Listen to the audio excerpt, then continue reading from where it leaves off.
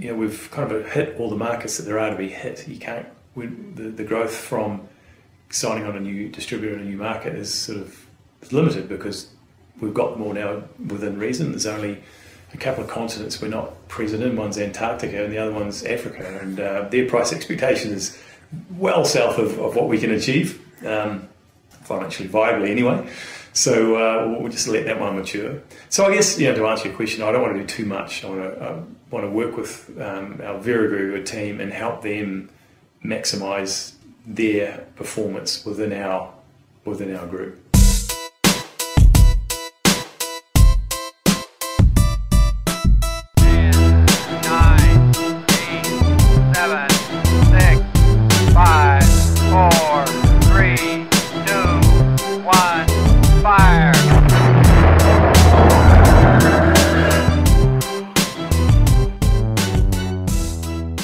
This is the Ryan Marketing Show, and you're listening to episode 68 of 100.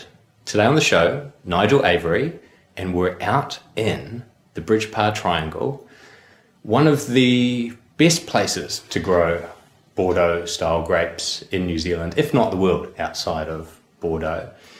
And we're not just going to be talking about wine, we're going to talk about the, the business of wine. Um, I guess, first of all, Nigel, um, great to be here and thanks for being on the show. You're welcome. Good to be here too. Now, there's so many areas I could start with Sileni as a business, um, what your dad's done, uh, the operation here, and, and you know what you've been doing overseas for the export markets. Um, but how about we start with some some recent history? Because although you've been involved with the company for some time, um, your roles changed quite recently to chief executive. That's right. What change has that meant for you? Uh, a good, good question. I mean, I guess prior to returning back here in August last year, 2016, I was based in the US with my family. So probably the biggest change was being um, back then. You were basically a lone ranger working from a small office of just one person, all from home. Uh, you could do what you wanted when you wanted, and uh, it was very autonomous. So coming back into this environment, it's much more stimulating. I've obviously many people around. Uh, fantastic to be able to go, you know, down the corridor or the hall, the next office, and chat to winemakers or production or whatever. Immediate input, but then uh, also having to um, be part of many more meetings and um, ad hoc, um, I guess you could say, interruptions. So that's that was probably the biggest uh, operational uh, change for sure.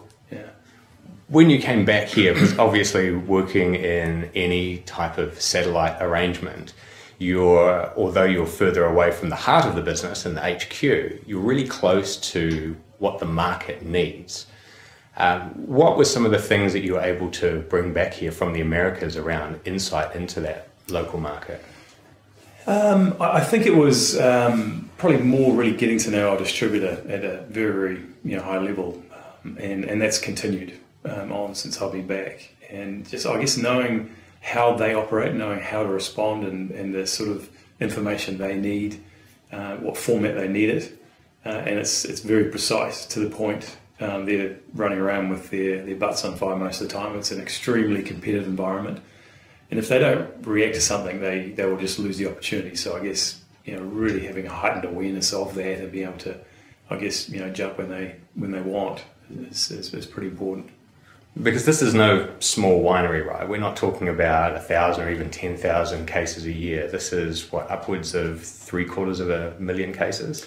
Yeah, it's around about that. So I guess you know in New Zealand terms, we're we're quite large, nowhere near as large as the largest but we're certainly not boutique. But then within what we do, there's a there's a large sort of commercial um, aspect to that volume, but there's a real boutique volume as well. And uh, I guess that is sort of credence to our winemakers to be, have the ability to you know, look at something from more of a you know where does it stand in the commercial sense to hey I want to make some really really cool wine, and they do both very very well. So we're extremely fortunate to be here, particularly in the Hawke's Bay, because it just gives us an avenue to explore many different varietals and sub-regions. And you mentioned the Bridge Pa Triangle, and that's certainly something that uh, we're, we're pretty proud of being part of. I've noticed that with the wine styles that yes, you've got the Sauvignon Blancs and the Chardonnay, Pinot Gris, as well as your reds. Uh, but then there was this style that came out called cut cane, Yeah. uh, where they just left the grapes on a little bit longer. They got a bit sweeter, and um, yeah, fascinating to see that from what is a, a larger than a, a boutique winery.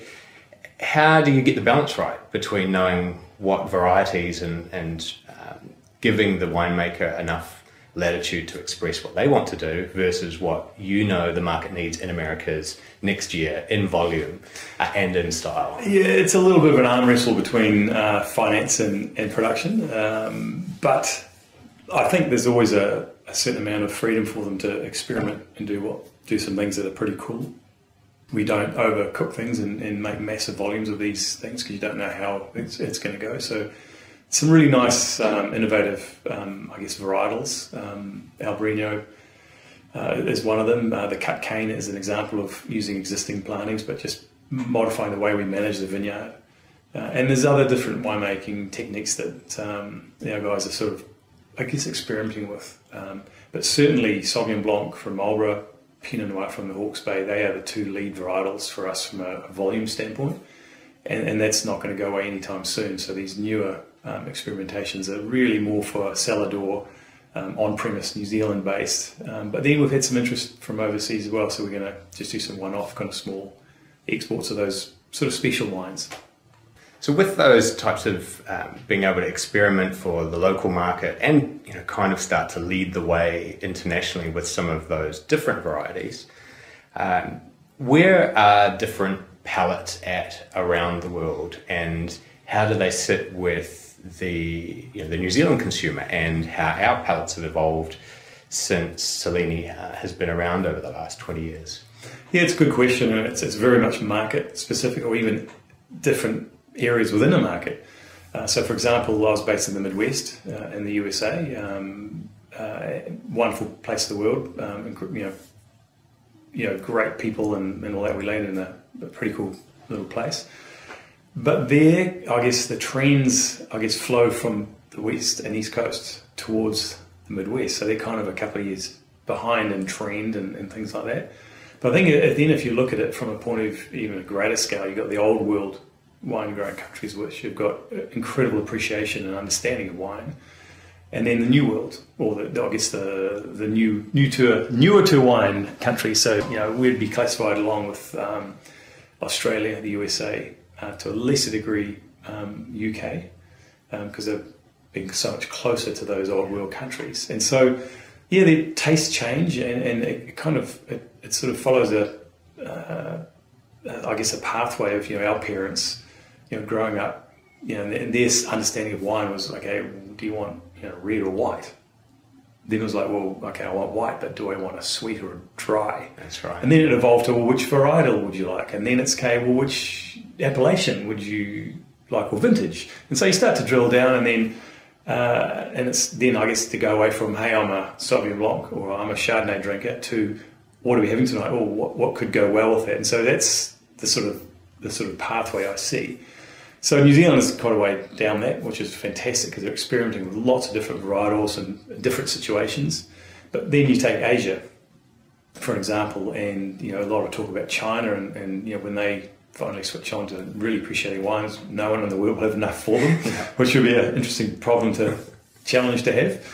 But then if you look at Japan, is I guess the first to embrace wine, they've still got very very low per capita consumption, um, and and uh, I think it's, I guess they probably have the most advanced wine appreciation uh, as a as a, a market in, in, Asia, and anybody else is, is sort of further behind. So it'll never be, I don't think, um, accepted as widely as it is in the old world or the I guess the, the newer wine consuming countries.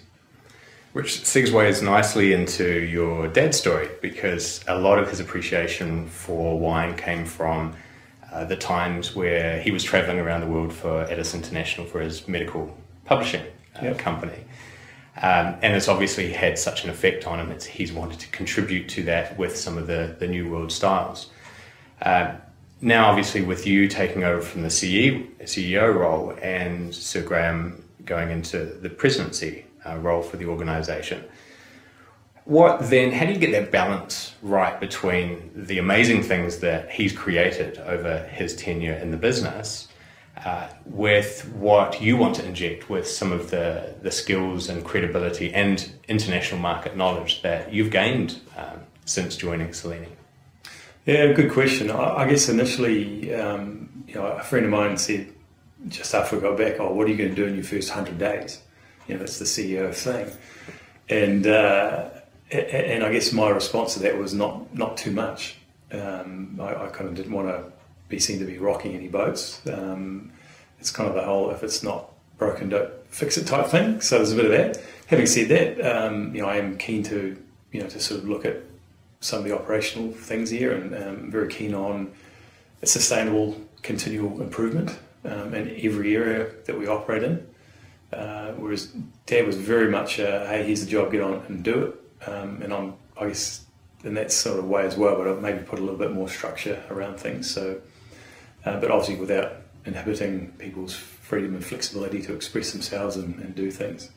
And I think uh, as far as the the export development side goes, I, I suppose Dad was an amazing um, trailblazer and could just keep on knocking on doors and just an incredible, you know, what he has done. Uh, and if you think um, before I came on in 2008 to help out with our Asia business, there was him and uh, another person on site covering the world from New right? Zealand. That's it. Yeah, so an incredible amount of travel, and uh, which didn't go unnoticed um, in the market. So I guess it's to continue those relationships and really, really key account management, focus on um, the 80-20 rule, those those kind of things. Make sure we're, you know, touching the right um, organisations in the right amount of times.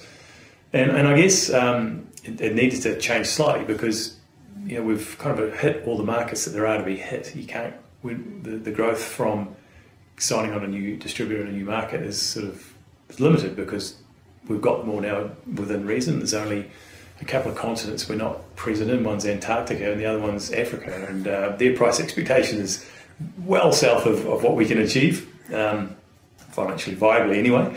So uh, we'll just let that one mature. So I guess you know to answer your question, I don't want to do too much. I want to I want to work with um, our very very good team and help them maximise their performance within our within our group.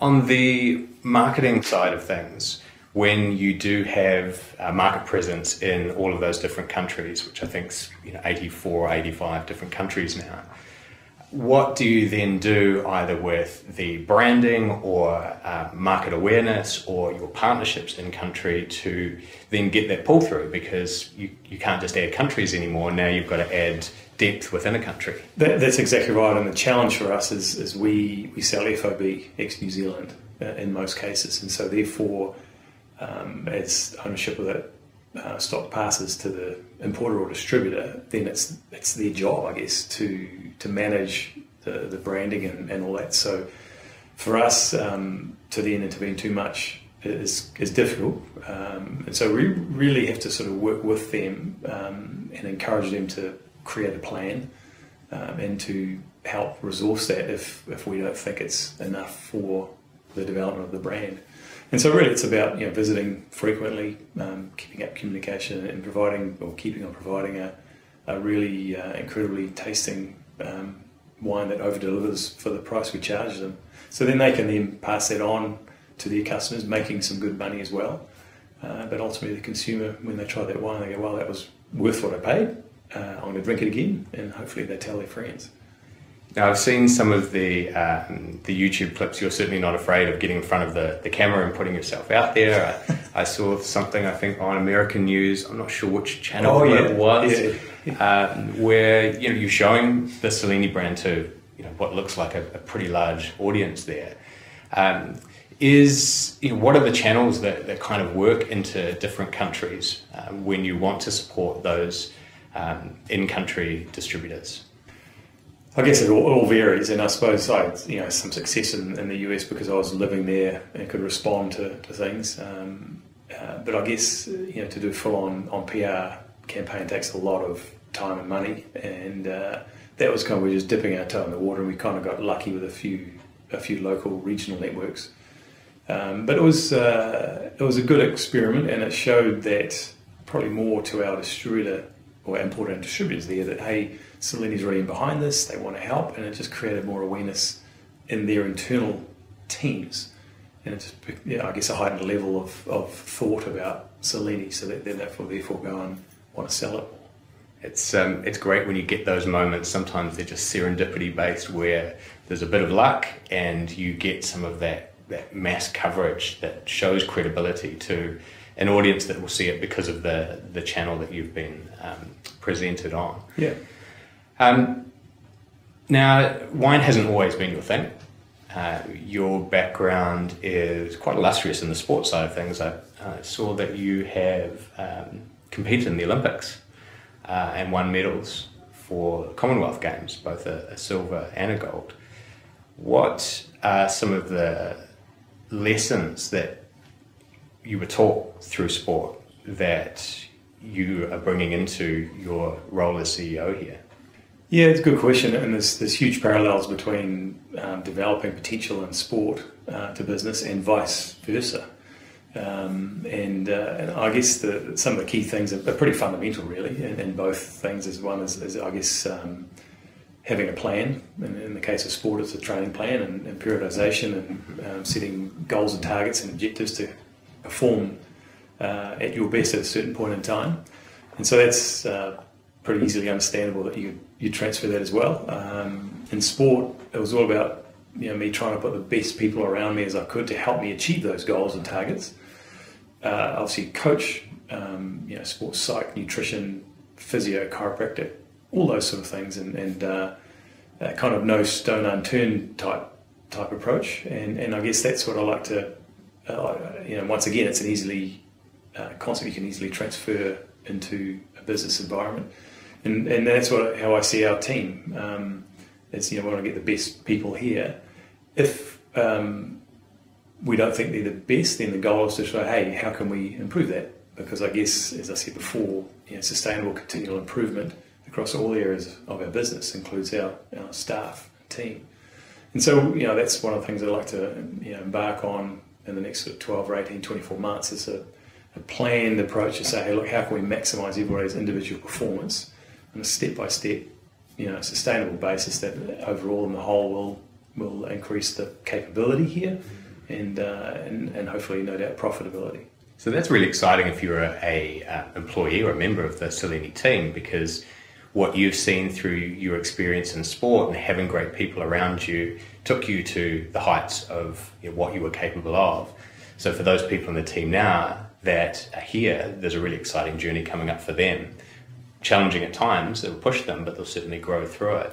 Well, I'd like to think so. I mean, hopefully um, people take it in the spirit that which is intended, and is to, to improve everybody and everything. And, and uh, if people grow, then I, that's only a good thing. Um, I guess you know we are a relatively lean company from a personnel point of view, and the challenge challenges there is that the, the scope for growth within the organisation is, is, a challenge.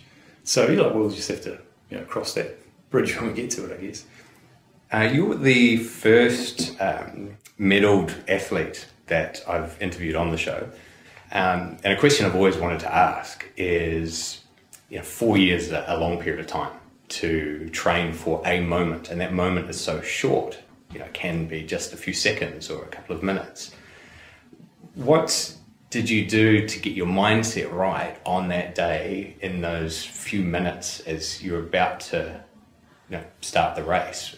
How do you get into that right zone to give it your all in a physiological, mental, spiritual, emotional way?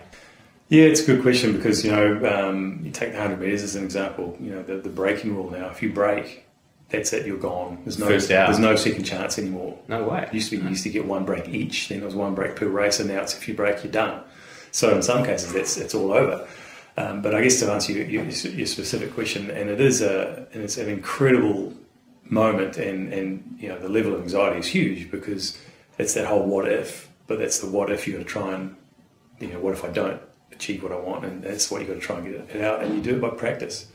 So you play. I used to play mental games uh, in training around. Okay, this is it. This is the one I have to get this lift, and sort of put self pressure on myself um, in training um, to try and replicate what is bound to happen in a competition event and you know I saw a lot of um, a lot of my training partners would do amazingly things in the gym and training, but not be able to transfer that into the competition platform. And um, you know, I don't know why. I never really quizzed them too hard on it, you know. But um, yeah, I think for me, it was all about you know you train, make training very difficult so that the competition is is easier. And so that's kind of how I approached it. And I suppose you know that is doing a heck of a lot of hard work so that um, it makes it easier. And, and from a business side, it's, it's no different. Just well prepared, hard work, and then you know I don't know, can't remember who said it, but you know the harder you work, it, the luckier you seem to get. That was one of my father's favourite sayings mm. over, over his time. And uh, I think a lot of Hawke's Bay businesses, particularly in the wine industry, do look up to Sileni for what Sileni has achieved and for what your father has achieved. Uh, what advice would you give to those wineries that are in their you know, first five or ten years, knowing what you know now about um, you know how much your volume and how you've you've grown the business? Um, what things do you think that they should be focusing on now to end up in a position where they could be as big as Sileni in 15 years? Well, that's, that's, a, that's an interesting question. Um, I think one of the things that, that we kind of um, are trying to remedy now is we kind of outgrew our systems. Um, and you know, I think we've got some pretty good you know, ex, you know knowledge um, that floats around the place, but it's not all in, in a cohesive thing. And, and, I think with growth, we kind of just outgrew it.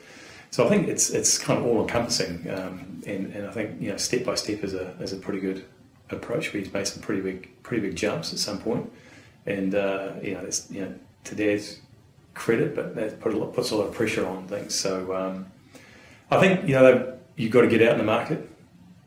Uh, every time I get out there, something happens without question and uh, you know, sitting here in, in Hawke's Bay, a wonderful place to eat your lunch, make some wine, but um, you, it's a big world out there, and you've got to get in amongst it. So that, that's really the, the key from a from a sales point of view, I believe.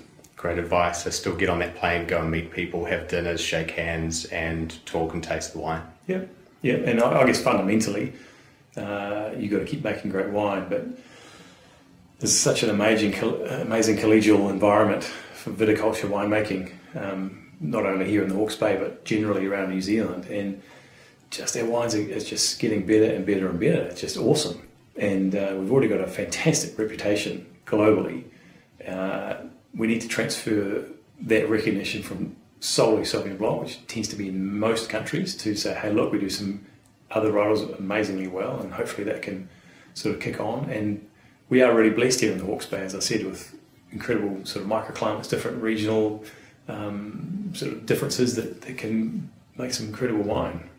I believe you're onto something with that. I think that with the the New Zealand wine industry is collegial, and there is sharing of knowledge, and that overall that's helping uh, our brand internationally and helping learn from each other in a way that's much quicker than maybe some other countries in their winemaking. Yeah, well, I think you know we're very small. We're never ever going to dominate the world in wine. I mean, in, in Sauvignon Blanc, we, we, we do that because of you know it is just so unique. But we produce less than one percent of the world's wine. Uh, none of our companies are big enough to tell the New Zealand story. We, we don't have that. Whatever. I mean, even the the brands that are owned by some of the biggest wine companies can't really tell that story either because there are just so many wine brands. So you know, we always talk about New Zealand, we always talk about Hawke's Bay and Marlborough. Then we start talking about Sileni and our part in that. And so I, would like to think that all the other wine producers, when they're representing themselves globally, also do that. Because um, the more we can talk up New Zealand in general, create some general noise about that, you know, the better it is for everybody. So that's kind of kind of how we think about it. Excellent. Uh, one last question. Uh, last year was the Hawke's Bay Marathon, the inaugural one, and it finished at Sileni. So yeah. for the first time, we had some some people um, almost crawling to get into Sileni to, to get over the, the finish line. Uh, will you be competing in the marathon this year? I will not be competing in it. If I do anything, it'll be walking 10k. My joints are certainly not uh, the right uh, the right condition for that. but yeah, amazing event, and uh, it was an incredible day. Unfortunately, I was still overseas, didn't make it, but huge amount of positivity came from that. Um, and they're the events that you know the Bay should really get behind. You know, large number of visitors. You know, you know, it sort of goes with the, the sort of the healthy lifestyle of the Bay, the, the fresh produce, the you know consumption of wine in a in a, in a responsible way. uh, and, and being active and healthy? It was, um, I did the half marathon, so only the, the, the second half of the pain. And to run through the vineyards, through the vines of areas that um, you know, I've grown up in, in Hawke's Bay, but to see all these different vistas for the first time uh, down by the river, you know, going through the six, seven K mark, it was spectacular. So for anyone wanting to um, see some different views, it's, it's worth doing a little bit of training for. Yeah, it's a great advertisement for the Bay. I mean, you mentioned Adis before. We had a, a reunion here for that over the weekend, and uh, many people had first time to the Bay. A few people saying, "Hey, I think we might be moving here." One who had just recently. So uh, I guess we don't want to tell too many people. I keep a little bit of a secret about how special the place is. But uh, yeah, you're right. Just seeing things from different eyes is uh, is sometimes a good thing. Uh, Nigel, I really appreciated talking with you today and for you sharing your own personal story and the story of Sileni. And you know, we touched on uh, Sir Graeme Avery's story as well there. Um, what a great heritage to continue, and it looks like you've got some amazing plans for the team here and for your export market. So I wish you all the luck in the future. Thanks very much. Appreciate it. Thanks, Nigel.